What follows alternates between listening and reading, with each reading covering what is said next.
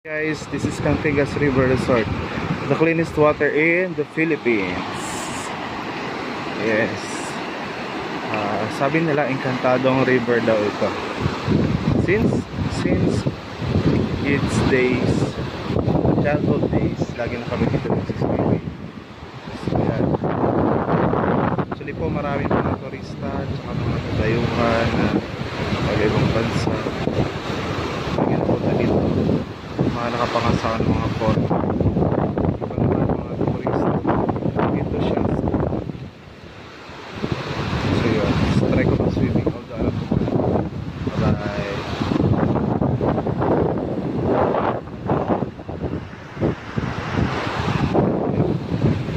mga nagsiswimming.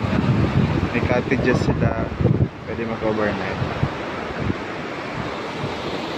ito irrigation sa mga palay